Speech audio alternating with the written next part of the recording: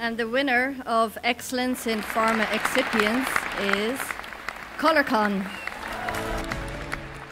Well, it is very important because, I mean, you know, in this event, I mean, here in CPHI uh, in, in Europe, all our customers basically attend this event. So it has a lot of uh, brand value, you know, to Colorcon, you know, to, to, to uh, achieve this, to get this award.